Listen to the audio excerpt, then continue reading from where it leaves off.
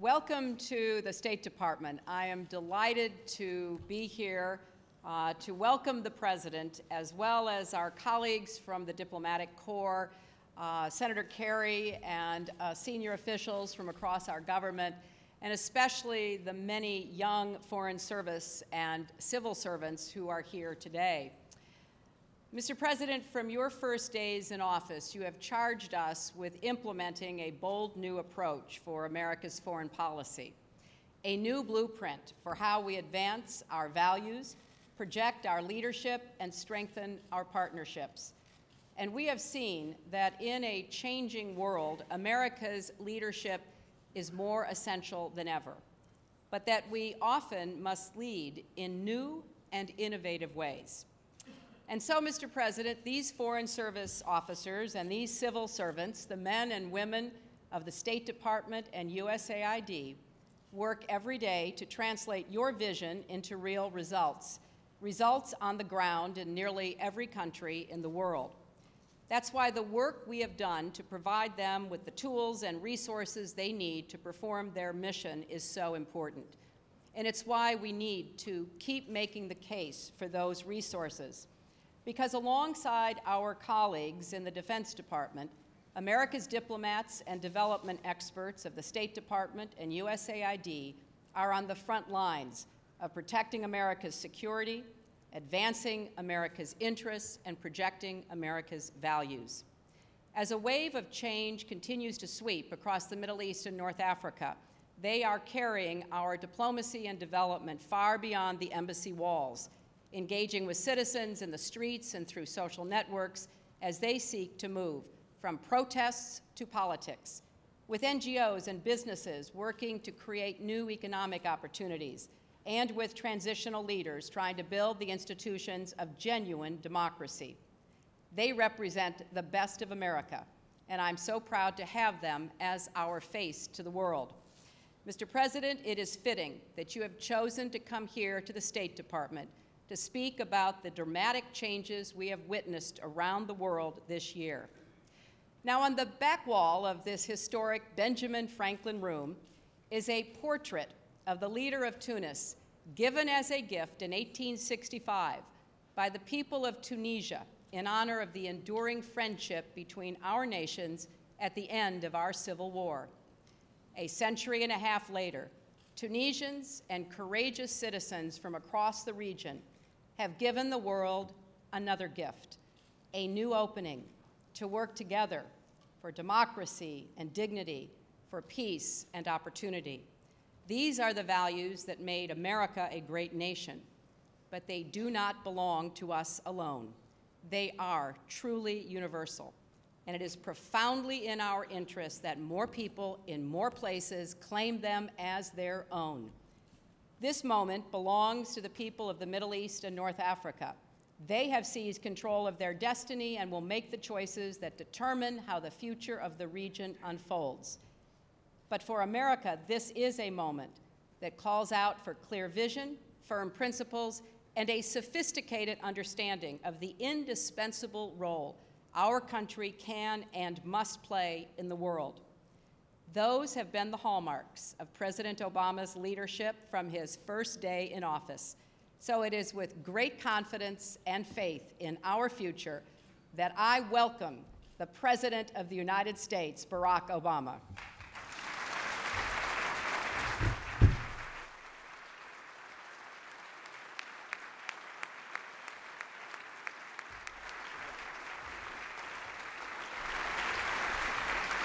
Thank you. Thank you. Thank you very much. Thank you. Please have a seat.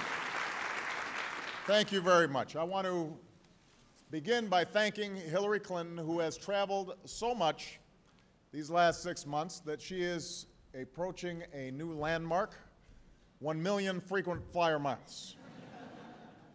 uh, I count on Hillary uh, every single day, uh, and I believe that she will go down as one of the finest secretaries of state in our nation's history. You know, the State Department is a fitting venue to mark a new chapter in American diplomacy. For six months, we have witnessed an extraordinary change taking place in the Middle East and North Africa. Square by square, town by town, country by country, the people have risen up to demand their basic human rights. Two leaders have stepped aside. More may follow. And though these countries may be a great distance from our shores, we know that our own future is bound to this region by the forces of economics and security, by history, and by faith. Today, I want to talk about this change, the forces that are driving it, and how we can respond in a way that advances our values and strengthens our security. Now, already we've done much to shift our foreign policy following a decade defined by two costly conflicts. After years of war in Iraq, we've removed 100,000 American troops and ended our combat mission there. In Afghanistan, we've broken the Taliban's momentum. And this July, we will begin to bring our troops home and continue a transition to Afghan lead.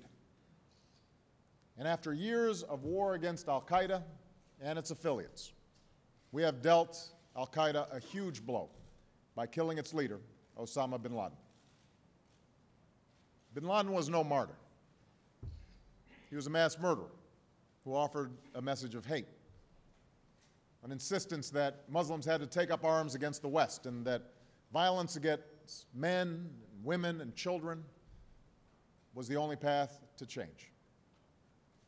He rejected democracy and individual rights for Muslims in favor of violent extremism.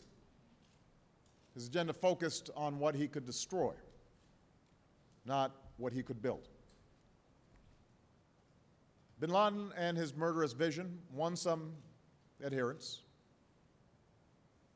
But even before his death, Al Qaeda was losing its struggle for relevance. As the overwhelming majority of people saw that the slaughter of innocents did not answer their cries for a better life. By the time we found bin Laden, Al Qaeda's agenda had come to be seen by the vast majority of the region as a dead end.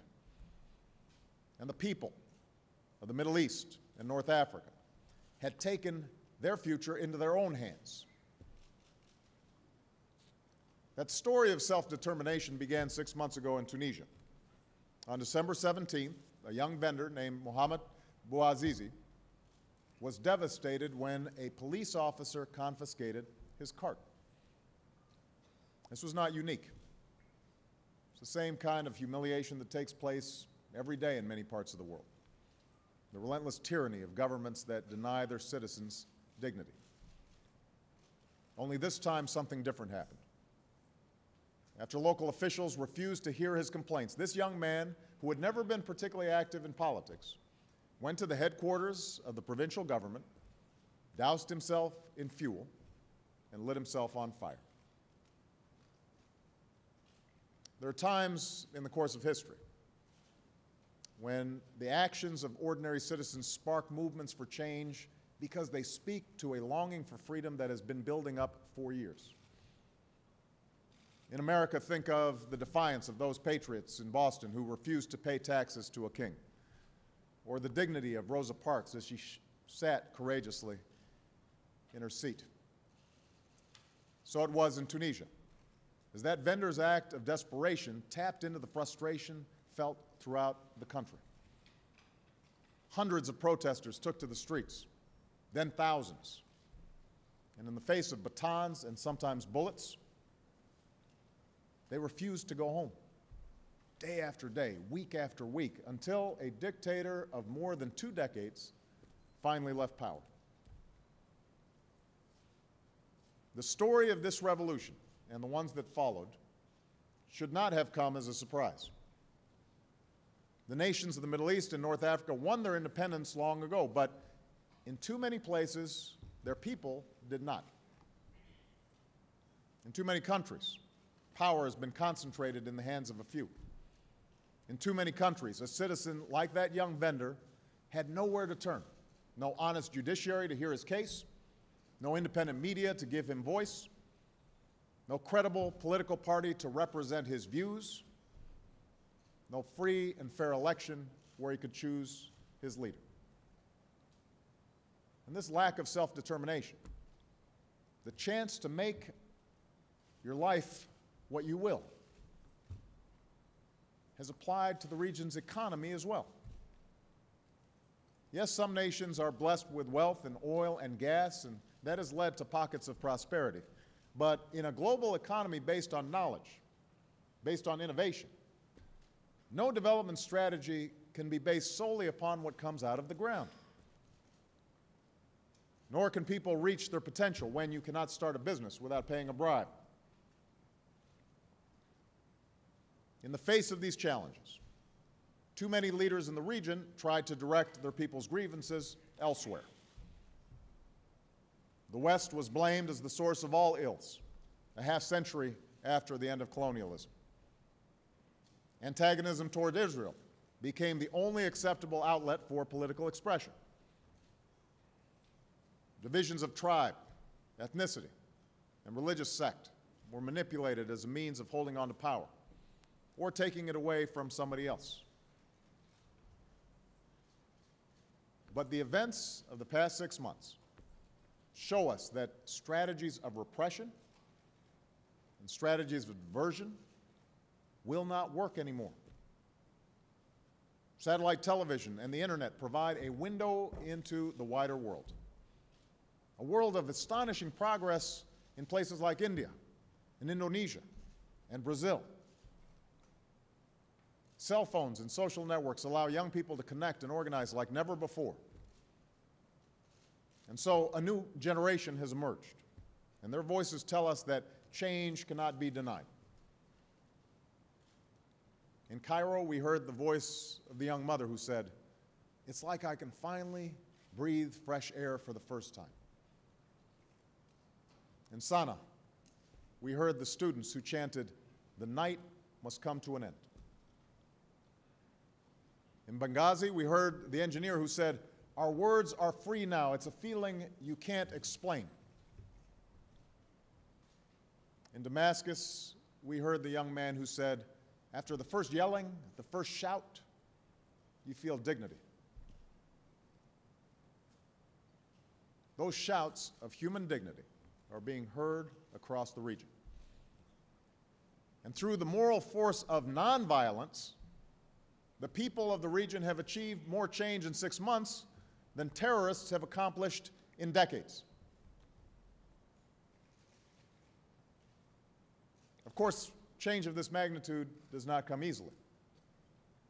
In our day and age, a time of 24 hour news cycles and constant communication, people expect the transformation of the region to be resolved in a matter of weeks. But it will be years before this story reaches its end. Along the way, there will be good days and there will be bad days. In some places, change will be swift, in others, gradual. And as we've already seen, calls for change may give way, in some cases, to fierce contests for power. The question before us is what role America will play as this story unfolds. For decades, the United States has pursued a set of core interests in the region countering terrorism and stopping the spread of nuclear weapons, securing the free flow of commerce and safeguarding the security of the region, standing up for Israel's security, and pursuing Arab Israeli peace. We will continue to do these things with the firm belief that America's interests are not hostile to people's hopes, they're essential to them. We believe that no one benefits from a nuclear arms race in the region or Al Qaeda's brutal attacks. We believe people everywhere would see their economies crippled by a cutoff in energy supplies. As we did in the Gulf War, we will not tolerate aggression across borders, and we will keep our commitments to friends and partners. Yet we must acknowledge that a strategy based solely upon the narrow pursuit of these interests will not fill an empty stomach or allow someone to speak their mind. Moreover, failure to speak to the broader aspirations of ordinary people will only feed the suspicion that has festered for years that the United States pursues our interests at their expense. Given that this mistrust runs both ways, as Americans have been seared by hostage taking and violent rhetoric and terrorist attacks that have killed thousands of our citizens, a failure to change our approach threatens a deepening spiral of division between the United States and the Arab world. And that's why two years ago in Cairo, I began to broaden our engagement based upon mutual interests and mutual respect. I believed then, and I believe now, that we have a stake not just in the stability of nations, but in the self determination of individuals. The status quo is not sustainable. Societies held together by fear and repression may offer the illusion of stability for a time, but they're built upon fault lines that will eventually tear asunder. So we face a historic opportunity. We have the chance to show that America values the dignity of the street vendor in Tunisia more than the raw power of the dictator. There must be no doubt that the United States of America welcomes change that advances self determination and opportunity. Yes, there will be perils that accompany this moment of promise. But after decades of accepting the world as it is in the region, we have a chance to pursue the world as it should be. Of course, as we do, we must proceed with a sense of humility. It's not America that put people into the streets of Tunis or Cairo. It was the people themselves who launched these movements. And it's the people themselves that must ultimately determine their outcome. Not every country will follow our particular form of representative democracy. And there will be times when our short term interests don't align perfectly with our long term vision for the region. But we can, and we will, speak out for a set of core principles, principles that have guided our response to the events over the past six months. The United States opposes the use of violence and repression against the people of the region.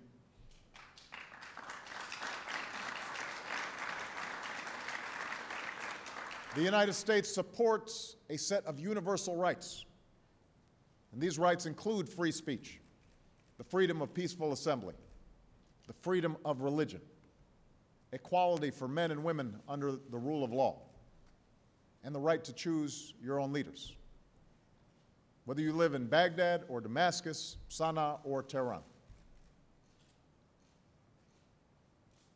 And we support political and economic reform in the Middle East and North Africa that can meet the legitimate aspirations of ordinary people throughout the region. Our support for these principles is not a secondary interest.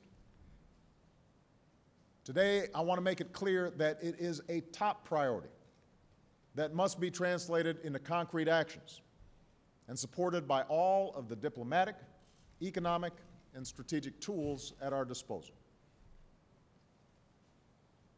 Let me be specific. First, it will be the policy of the United States to promote reform across the region and to support transitions to democracy. That effort begins in Egypt and Tunisia, where the stakes are high. As Tunisia was at the vanguard of this democratic wave, and Egypt is both a long standing partner and the Arab world's largest nation. Both nations can set a strong example through free and fair elections, a vibrant civil society, accountable and effective democratic institutions, and responsible regional leadership. But our support must also extend to nations where transitions have yet to take place. Unfortunately, in too many countries, calls for change have thus far been answered by violence. The most extreme example is Libya, where Muammar Gaddafi launched a war against his own people, promising to hunt them down like rats. As I said when the United States joined an international coalition to intervene, we cannot prevent every injustice perpetrated by a regime against its people. And we have learned from our experience in Iraq just how costly and difficult it is to try to impose regime change by force, no matter how well intentioned it may be. But in Libya, we saw the prospect of imminent massacre. We had a mandate for action and heard the Libyan people's call for help. Had we not acted along with our NATO allies and regional coalition partners, thousands would have been killed. The message would have been clear keep power by killing as many people as it takes. Now, time is working against Gaddafi. He does not have control over his country.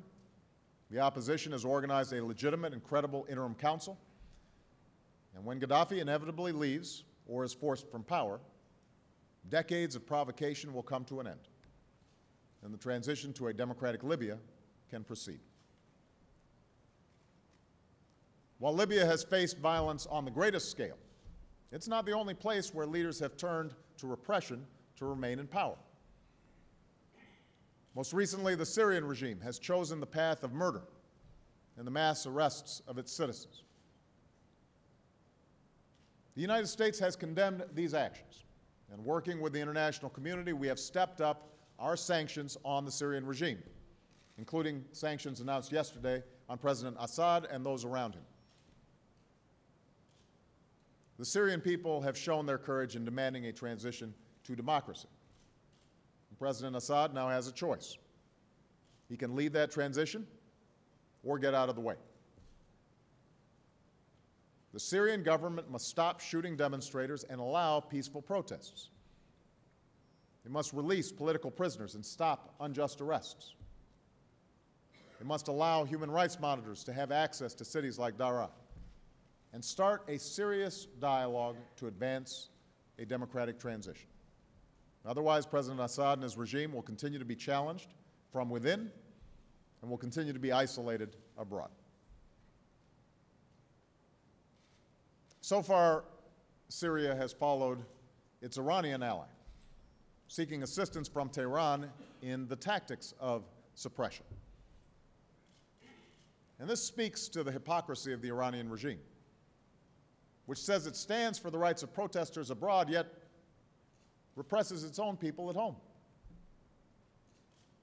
Let's remember that the first peaceful protests in the region were in the streets of Tehran, where the government brutalized women and men and threw innocent people into jail. We still hear the chants echo from the rooftops of Tehran. The image of a young woman dying in the streets is still seared in our memory. And we will continue to insist that the Iranian people deserve their universal rights and a government that does not smother their aspirations. Our opposition to Iran's intolerance and Iran's repressive measures, as well as, as its illicit nuclear program and its support of terror, is well known. But if America is to be credible, we must acknowledge that at times our friends in the region have not all reacted to the demands for consistent change with, with, with change that's consistent with the principles that I've outlined today. That's true in Yemen, where President Saleh needs to follow through on his commitment to transfer power. And that's true today in Bahrain. Bahrain is a long-standing partner, and we are committed to its security. We recognize that Iran has tried to take advantage of the turmoil there, and that the Bahraini government has a legitimate interest in the rule of law. Nevertheless, we have insisted both publicly and privately that mass arrests and brute force are at odds with the universal rights of Bahrain's citizens. And we will, and, and, and such steps will not make legitimate calls for reform go away. The only way forward is for the government and opposition to engage in a dialogue. And you can't have a real dialogue when parts of the peaceful opposition are in jail.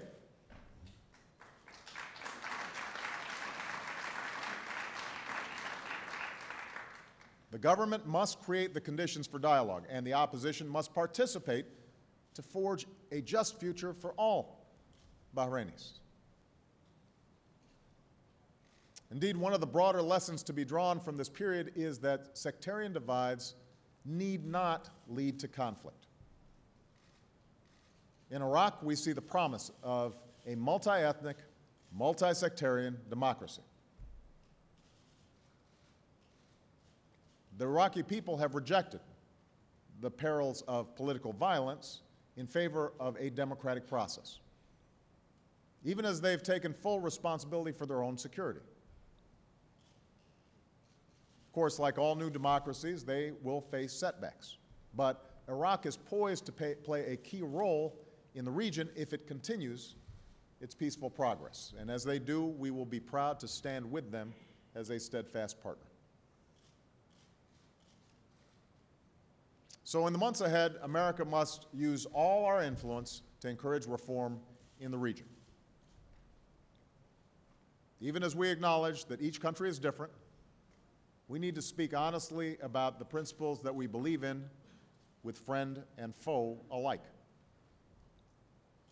Our message is simple.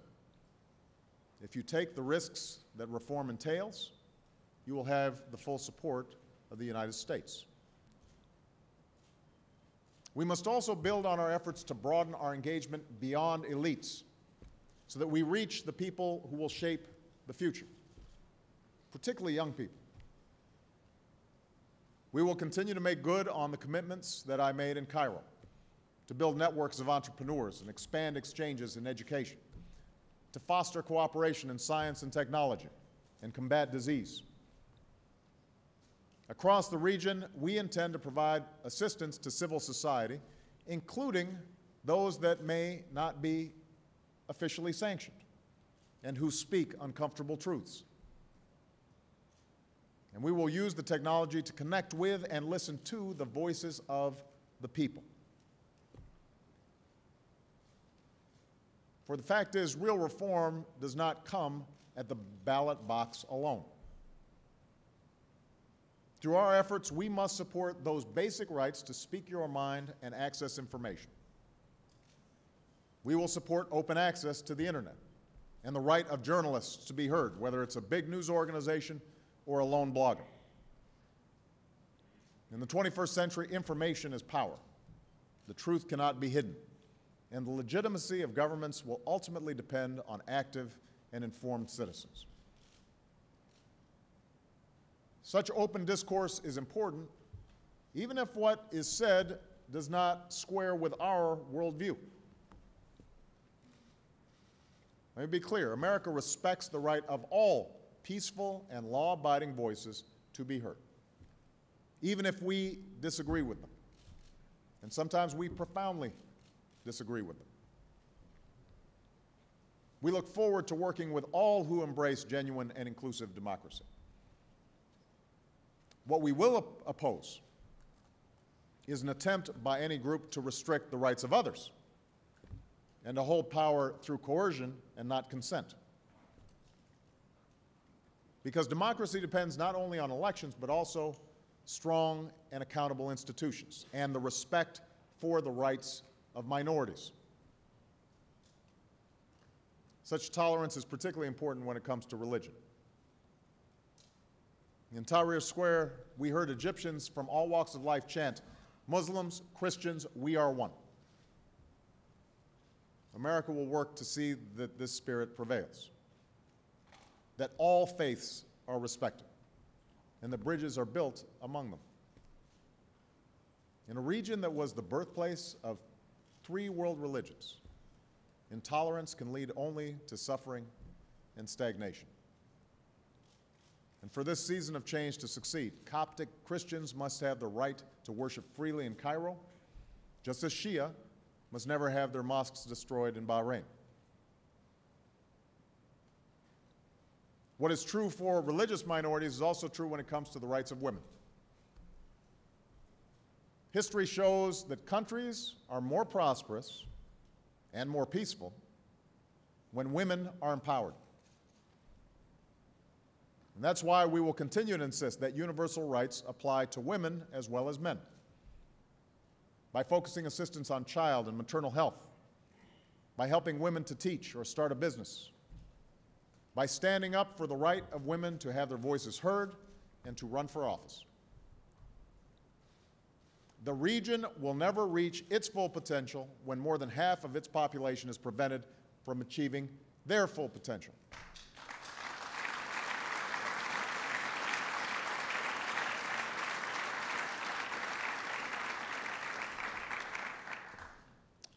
Now, even as we promote political reform, even as we promote human rights in the region, our efforts can't stop there. So, the second way that we must support positive change in the region is through our efforts to advance economic development for nations that are transitioning to democracy. After all, politics alone has not put protesters into the streets. The tipping point for so many people is the more constant concern of putting food on the table and providing for a family. Too many people in the region wake up with few expectations other than making it through the day, perhaps hoping that their luck will change. Throughout the region, many young people have a solid education, but closed economies leave them unable to find a job. Entrepreneurs are brimming with ideas, but corruption leaves them unable to profit from those ideas. The greatest untapped resource in the Middle East and North Africa is the talent of its people. In the recent protests, we see that talent on display as people harness technology to move the world. It's no coincidence that one of the leaders of Tahrir Square was an executive for Google. That energy now needs to be channeled in country after country so that economic growth can solidify the accomplishments of the street.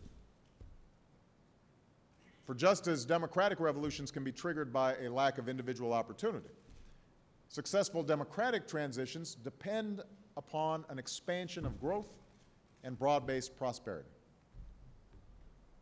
So, drawing from what we've learned around the world, we think it's important to focus on trade, not just aid, on investment, not just assistance.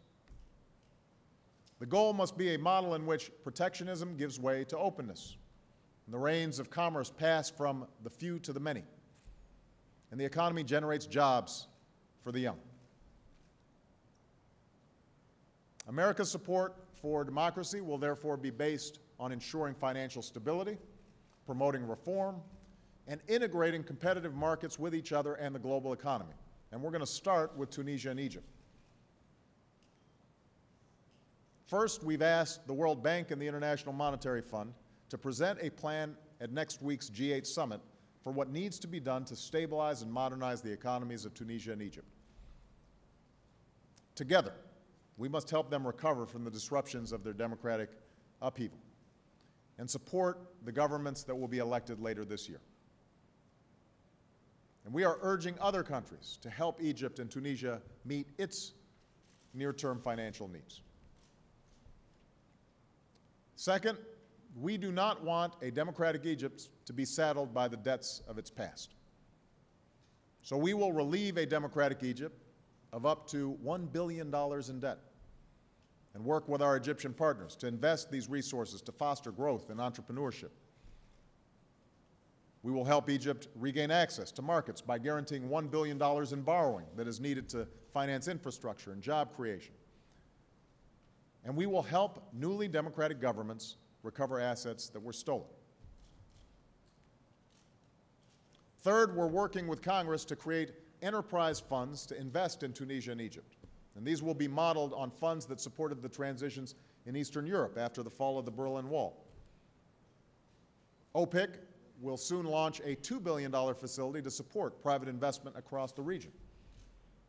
And we will work with the allies to refocus the European Bank for Reconstruction and Development so that it provides the same support for democratic transitions and economic modernization in the Middle East and North Africa as it has in Europe. Fourth, the United States will launch a comprehensive trade and investment partnership initiative in the Middle East and North Africa. If you take out oil exports, this entire region of over 400 million people exports roughly the same amount as Switzerland. So we will work with the EU to facilitate more trade within the region, build on existing agreements to promote integration with U.S. and European markets, and open the door for those countries who adopt high standards of reform and trade liberalization to construct a regional trade arrangement. And just as EU membership served as an incentive for reform in Europe, so should the vision of a modern and prosperous economy create a powerful force for reform in the Middle East and North Africa. Prosperity also requires tearing down walls that stand in the way of progress. The corruption of elites who steal from their people, the red tape that stops an idea from becoming a business, the patronage that distributes wealth based on tribe or sect. We will help governments meet international obligations and invest efforts uh, at anti-corruption by working with parliamentarians who are developing reforms and activists who use technology to increase transparency and hold government accountable. Politics and human rights, economic reform. Let me conclude by talking about another cornerstone of our approach to the region, and that relates to the pursuit of peace. For decades, the conflict between Israelis and Arabs has cast a shadow over the region. For Israelis, it has meant living with the fear that their children could be blown up on a bus or by rockets fired at their homes, as well as the pain of knowing that other children in the region are taught to hate them. For Palestinians, it has meant suffering the humiliation of occupation and never living in a nation of their own. Moreover, this conflict has come with a larger cost to the Middle East as it impedes partnerships that could bring greater security and prosperity and empowerment to ordinary people. For over two years, my administration has worked with the parties and the international community to end this conflict, building on decades of work by previous administrations.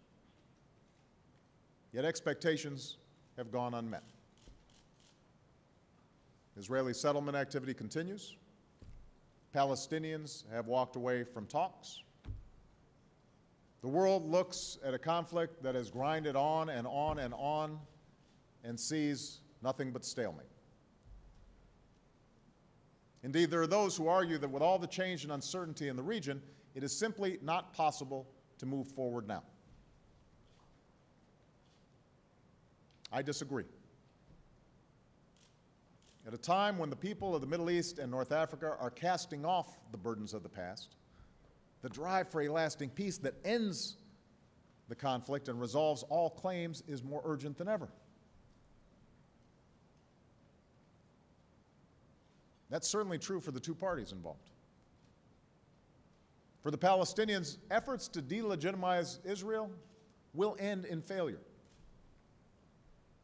Symbolic actions to isolate Israel at the United Nations in September won't create an independent state. Palestinian leaders will not achieve peace or prosperity if Hamas insists on a path of terror and rejection.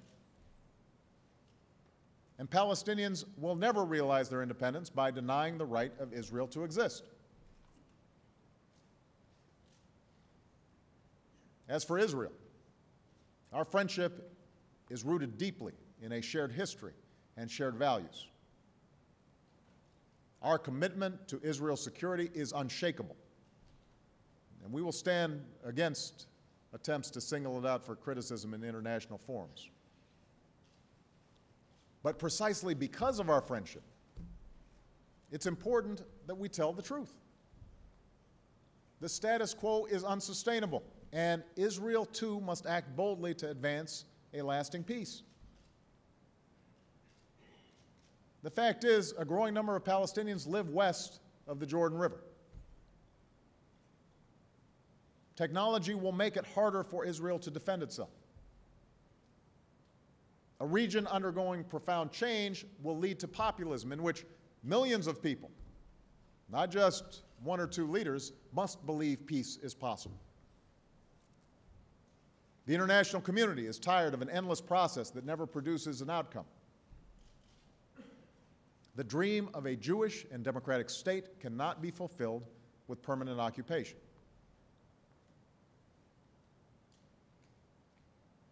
Now, ultimately, it is up to the Israelis and Palestinians to take action.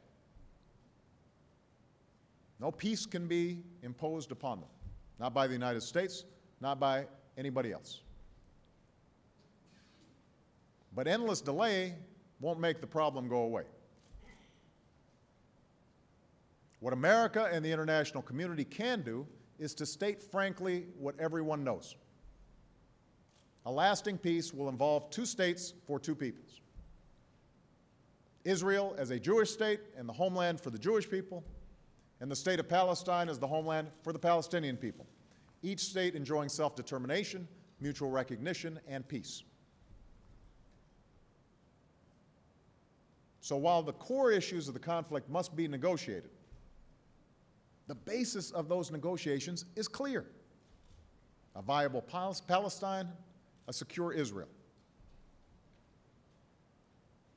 The United States believes that negotiations should result in two states with permanent Palestinian borders with Israel, Jordan, and Egypt, and permanent Israeli borders with Palestine.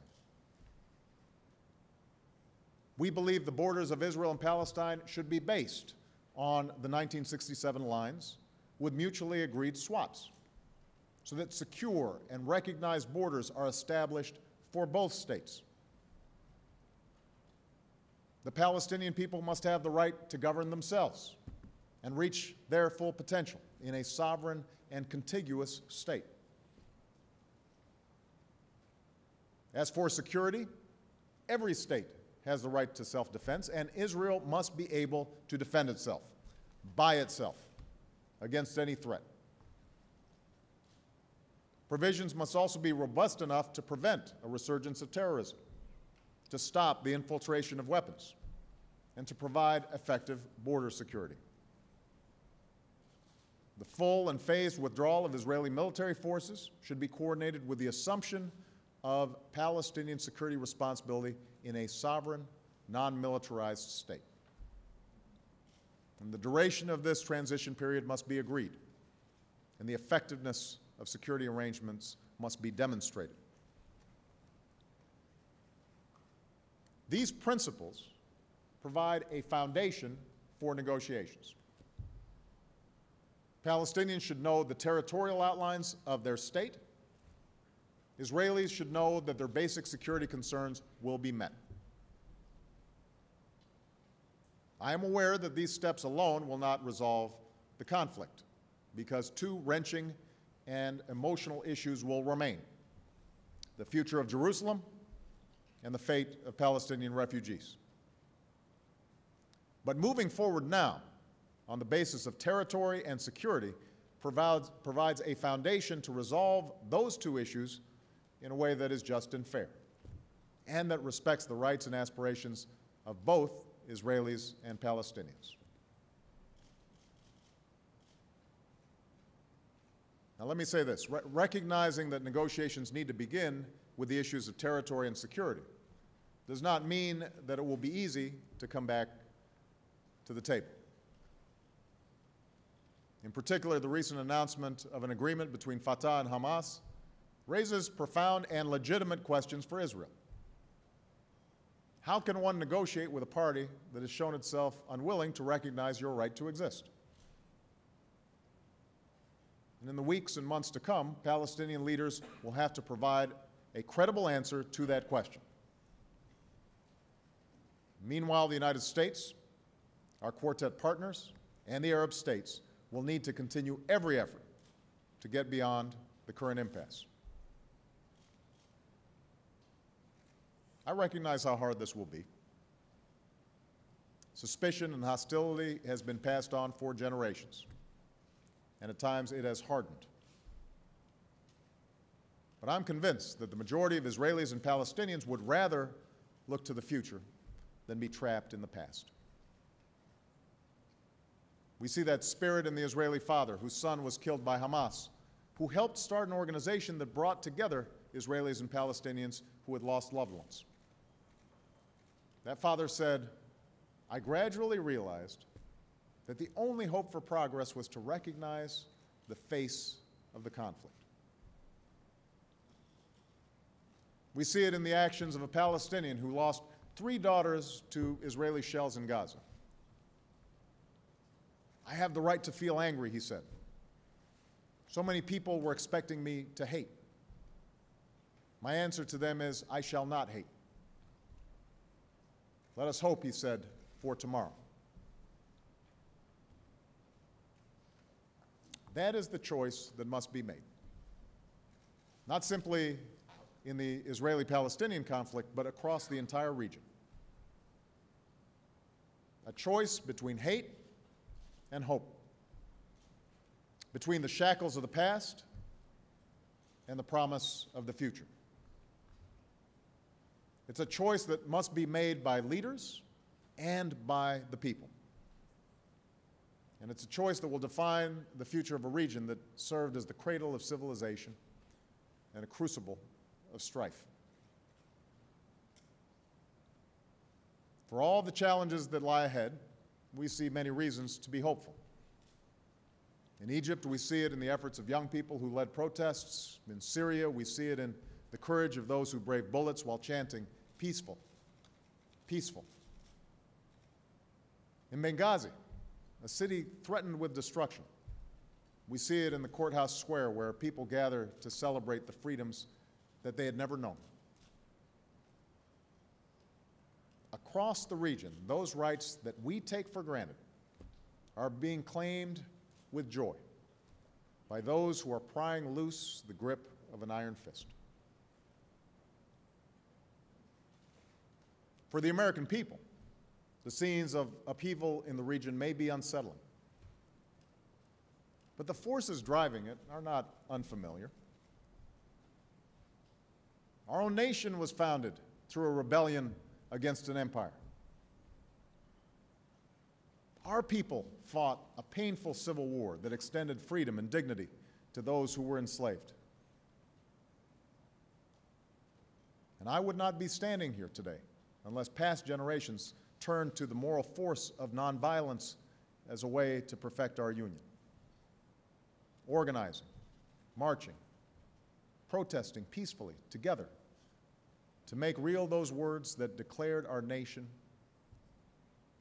We hold these truths to be self evident that all men are created equal. Those words must guide our response to the change that is transforming the Middle East and North Africa. Words which tell us that repression will fail and that tyrants will fall and that every man and woman is endowed with certain inalienable rights. It will not be easy. There's no straight line to progress, and hardship always accompanies a season of hope. But the United States of America was founded on the belief that people should govern themselves. And now we cannot hesitate to stand squarely on the side of those who are reaching for their rights, knowing that their success will bring about a world that is more peaceful, more stable, and more just. Thank you very much, everybody. Thank you. Thank you. Thank you.